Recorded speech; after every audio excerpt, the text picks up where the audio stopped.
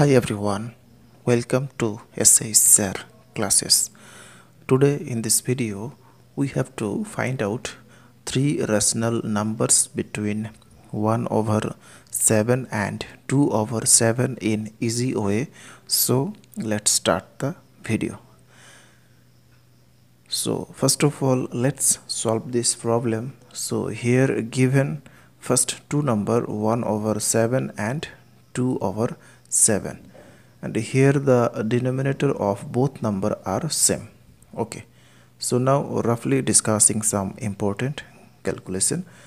So for finding three rational numbers between 1 over 7 and 2 over 7 we have to follow this method. So we should multiplying with both number by 3 plus 1 so 3 plus 1 equal to 4 now multiplying 4 with both number by this way. So here and here. Okay. So here 4 over 4 and here similarly 4 over 4 okay.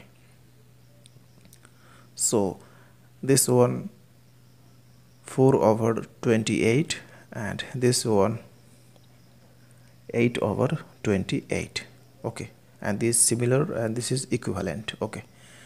So now between 4 to 8 we can get three natural numbers between 4 to 8 okay.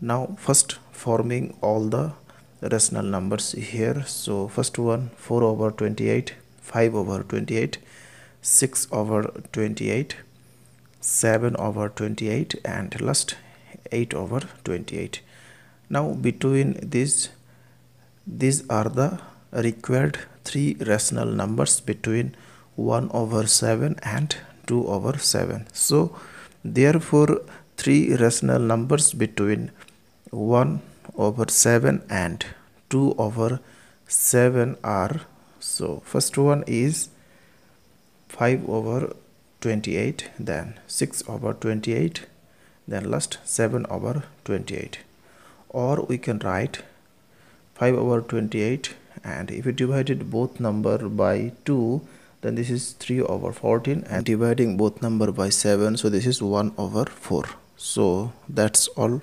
Thanks for watching. Please share it with your friend. Thanks for watching